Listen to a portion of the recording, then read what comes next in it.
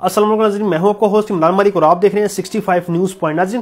دنیا کے اوپر اگر ہم ایک نظر دوڑائیں، جب بھی ان کا کوئی مذہبی تہوار آتا ہے، جب بھی کوئی ایسا ان کا ایک ایونٹ آتا ہے، جس کی عقیدت ہر مذہب کے حساب سے وہ جائز ہے، تو اس ملک کے اندر اپنے ملک کے رہنے والے شہریوں کے لیے قیمتوں میں خاطر ہوا کمی لائی جاتی ہے۔ چاہے وہ ہولی ہے، چاہے وہ کوئی اور مذہب ہے، چاہے وہ کرسمس ہے، کرسمس کے اوپر اسپیشلی یورپ کے اندر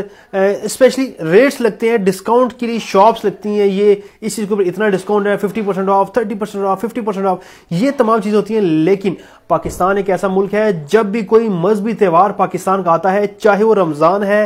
چاہے وہ عید ہے، چاہے وہ بکرا عید ہے، لیکن یہاں پہ قیمتوں میں اضافہ دو سو فیصد تک کر دیا جاتا ہے۔ نہ صرف اضافہ ہوتا ہے، بلکہ منافع خوروں کو، اپنی منافع کا اور ذخیرہ اندوزوں کو، اپنی ذخیرہ کی گئی چیزوں کے اوپر کئی گنا اضافہ لے کے اس عوام کا یہ جو مال ہے، ان چیزوں کو بلیک کر کے بیچا جاتا ہے، جس کے اوپر اس اس غریب عوام کے اوپر مہنگائی کا بم ڈال دیا جاتا ہے۔ تو اس مہنگائی کے بم کے ساتھ ہی جیسا کہ پیٹرول کی قیمتوں میں پچھلے دنوں اضافہ ہوا گیس کی قیمتوں میں جو بل ہزاروں کے حساب سے، لاکھوں کے حساب سے لوگوں کے جو بل آئے، بجلی کی قیمتوں میں اضافہ ہوا۔ اس کے ساتھ ساتھ جیسا کہ رمضان کی آمد آمد ہے، ایک مہینے کے بعد تقریباً رمضان شروع ہو جائے گا، لیکن رمضان کے شروع ہونے سے پہلے ہی یہ اعلان کر دیا گیا ہے کہ چیزوں کی قیمتوں کے اندر اضافہ کر دیا گیا ہے۔ ایک چیز کے اندر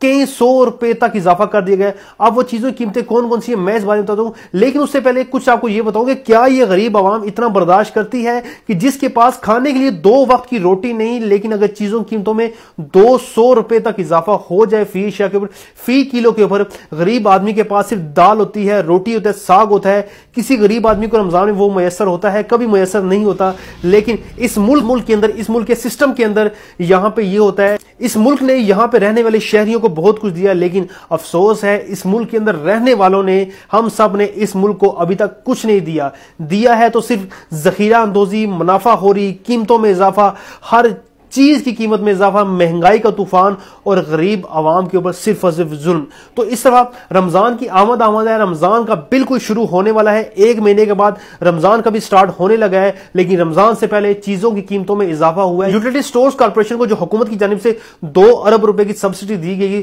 اس سبسڈی کے بعد چیزوں کی قیمتوں میں اضافہ ہوگا۔ ان چیزوں کی قیمتیں کیا ہوں گی؟ یہ تمام تر معلومات میں آپ کو اس ویڈیو میں فراہم کرنے جا رہا ہوں، لیکن اس سے پہلے اگر آپ مجھے فیس بک پر دیکھ رہے ہیں تو فیس بک پیج لائک کریں یوٹیوب چینل سبسکرائب کریں ویڈیو کو لائک بھی کریں اور شیئر بھی کریں۔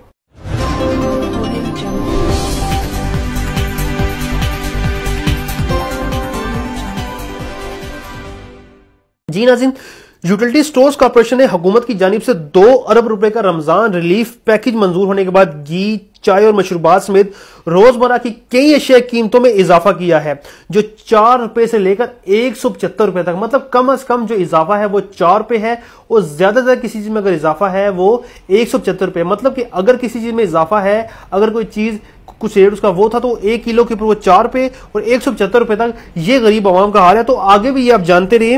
سب سے پہلے جو ایک ضروری چیز ہے وہ ہے کوکنگ آئل اور گھی جس کے اوپر سالن بنتا ہے، اس سالن کو کھا کے غریب آدمی اپنا پیٹ پالتا ہے۔ کوکنگ آئلز کے مختلف برینڈز میں نو روپے فی لیٹر تک اضافہ کیا گیا ہے، جبکہ گھی کی پانچ روپے فی کلو تک اضافہ کر دیا گیا۔ مطلب کہ جو چیز آپ اگر فار ایگزامپل اگر ایک ون ایٹی روپیز پر کے جی آپ جو چیز لیتے تھے، اب وہ آپ کو ون نائنٹی کے اراؤنڈ ملے گی۔ اس سے بھی زیادہ یہ وہ اضافہ ہے جو گورنمنٹ کی طرف سے کیا گیا، لیکن ابھی وہ اضافہ جو ذخیرہ اندوز کریں گے، وہ ابھی باقی ہے۔ یہ وہ چیزیں جو ریکارڈ کے اندر موجود ہے، یہ وہ اضافہ جو ریکارڈ میں ہے، اور وہ اضافہ جو ریکارڈ کے اندر موجود نہیں ہے، وہ بھی ابھی آنا باقی ہے آپ کے سامنے۔ اس کے علاوہ چائے چھ روپے سے لے کر پینسٹھ روپے اور مشروبات کی قیمتوں میں سات روپے سے لے کر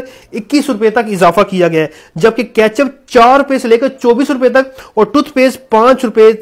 مزید مہنگی کرے مطلب اگر آپ کو دانت بھی صاف کرنے ہیں تو دانت بھی صاف کرنے کے لیے آپ کو رمضان میں سوچنا پڑے گا، بھائی یہ جو ٹوتھ پیسٹ ہے مہنگی ہونے جا رہی ہے۔ اس کے بعد کپڑے دھونے کا صرف نو روپے سے لے کر تیس روپے، شیمپو تیس روپے سے لے کر چالیس روپے اور جوتوں کی پالش دس روپے تک مہنگی کر دی گئی ہے۔ ناظرین، یہ اوورال کنڈیشن ہے۔ رمضان میں آپ کے اوپر جو جو مہنگائی بم گرنے والا ہے، اس کی چھوٹی سی جو ایک جو ہے، جو کنڈیشن میں نے آپ کے سامنے رکھی ہے یوٹیلٹی سٹور کارپوریشن کی جانب سے قیمتوں میں اضافے کا نوٹفکیشن جاری کر دی گیا ہے، جس کے بعد قیمتوں میں اضافے کا اطلاق ہو گیا ہے۔ یعنی رمضان ابھی آیا نہیں، رمضان کے ایک مہینے سے پہلے بھی آپ کے اوپر یہ بم گر چکا ہے، جس کو ہم نے ایکسپٹ کرنا ہے۔ یہ ہمارے اوپر یہ تمام چیزیں آ چکی ہیں اور یہ ہمارے اوپر جو زبردستی جو لاگو کر دیا گیا ہے رمضان ابھی آیا نہیں ہے، لیکن رمضان جب آئے گا تو اس کے بعد دیکھتے ہیں مزید کیا ہوتا ہے۔ تو یہ تو آنے والا وقت ہی بتاتا ہے، لیکن اگر آپ کو یہ ویڈیو پسند ہے تو میری گزارش ہے فیس بک کے اوپر پیج لائک کریں یوٹیوب کے اوپر چینل سبسکرائب کریں ویڈیو کو لائک بھی کریں اور شیئر بھی کریں۔ امید کرتا ہوں کہ یہ ویڈیو آپ کو پسند آئی ہوگی۔ تو نئے آنے والی ویڈیو تک اللہ حافظ۔